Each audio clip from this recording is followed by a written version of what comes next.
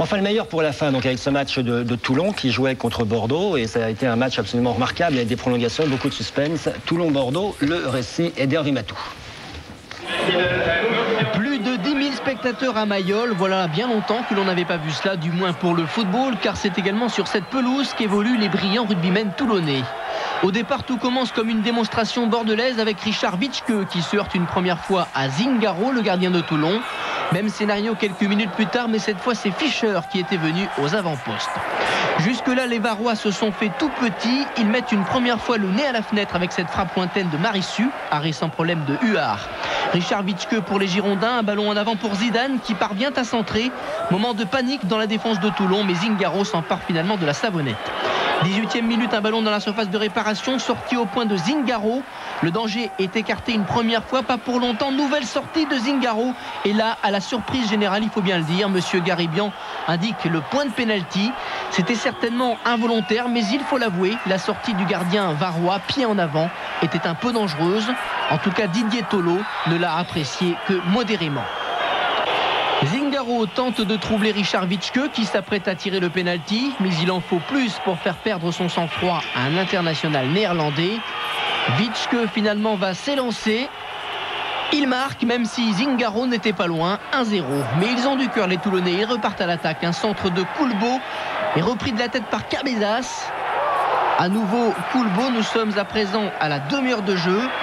Cette fois, son centre est repris par Moses. Le ballon légèrement détourné laisse sans réaction Gaëtan Huard. Un partout. Fou de joie à Thio Moses. Il est ghanéen. Il évoluait l'an dernier en Allemagne, à Düsseldorf, en deuxième division. Un partout, c'est le score à la mi-temps. Au début de seconde période, les Bordelais veulent faire la décision. Zidane donne un ballon à Tolo, frappe dans la course de Didier Tolo, 2 buts à 1. Les Girondins reprennent l'avantage. Au départ, il y avait un superbe contrôle de Zidane, un ballon millimétré et la finition de Tolo qui revient bien. C'est déjà son troisième but depuis son retour de blessure.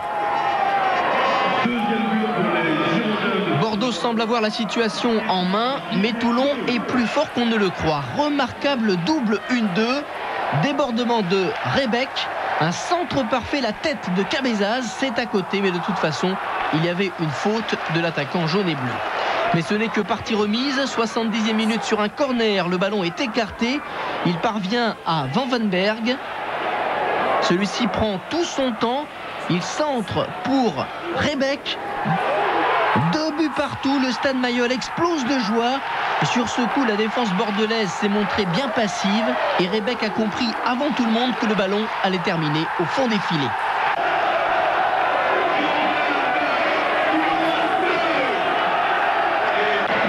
À deux partout, les Girondins ne sont pas fiers. Ils font tout pour éviter la prolongation.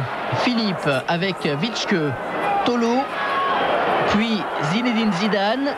Une dernière frappe girondine, sans problème pour Zingaro. Prolongation, c'est déjà en soi un exploit pour les Toulonnais.